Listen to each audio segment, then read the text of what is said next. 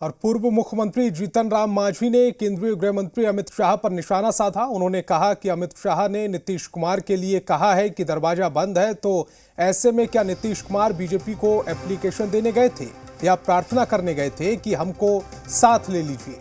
वहीं कहा कि महागठबंधन बिहार में मज़बूत है और आने वाले लोकसभा चुनाव में 40 सीटों पर जीत दर्ज करेगी।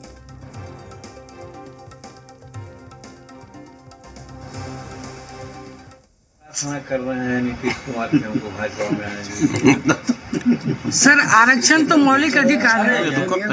एप्लीकेशन दिए हैं क्या? वो तो अपने आप बात करते हैं ये तो अपने खुद कह रहे हैं कि भाई हम आवाज़ बात ही सही है कि आज जो सात पार्टी का गठबंधन है अगर समीकरण देखा जाए तो यहाँ पर सत्तर प्रतिशत प्लस तीस प्रतिशत हो जाता है। तो सत्तर प्रतिशत ज़्यादा होता है कि तीस प्रतिशत ज़्यादा होता है। तो जब मेजोरिटी हमारे साथ है तो फिर हम उनके साथ क्यों जाएँगे?